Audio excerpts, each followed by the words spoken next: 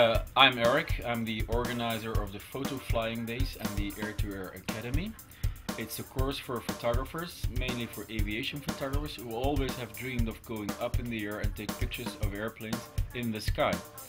This is the first time ever that we do it and we did it on four days in May and amazingly enough on our very first edition we have already 80 photographers from 21 different countries.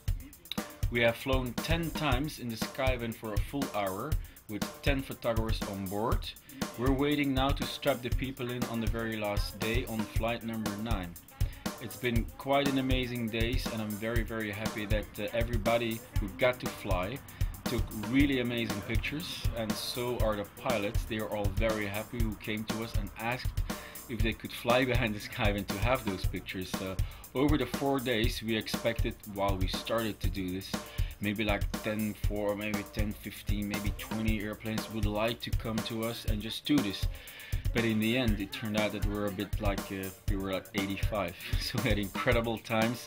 We set up phenomenal good photo flights but on each flight we had really special airplanes. We even had uh, two uh, Skyvan flights where there was a business jet posing for the photographers. We got some warbirds, we had some incredible formations.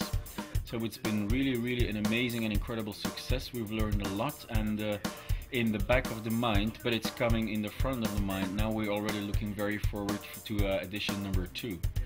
If you're interested by any chance as a photographer to be with us next year, just uh, visit our website or get in contact uh, with us by email.